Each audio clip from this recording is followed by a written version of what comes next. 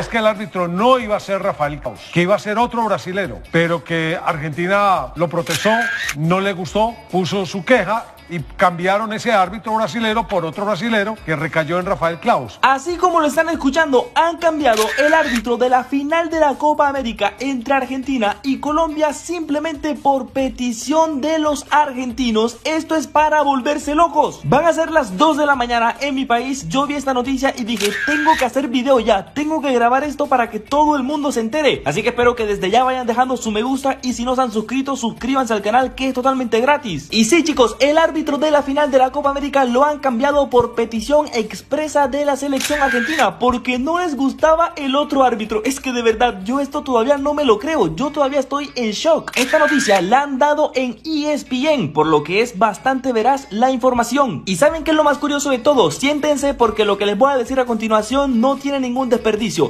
Ya estuvo en un partido de Argentina y Colombia, esto fue el primero de febrero del 2022 en Córdoba por ah, clasificación rumbo a Qatar 2022, donde no fue Colombia y donde Argentina fue campeón. Triunfo argentino, aquella oportunidad fue 1 por 0. Último juego que perdió Colombia hasta el día de hoy. es decir, desde ese día hasta el día de hoy, 28 partidos han pasado. Es que de verdad es para volverse loco, chicos. Colombia lleva 28 partidos seguidos sin perder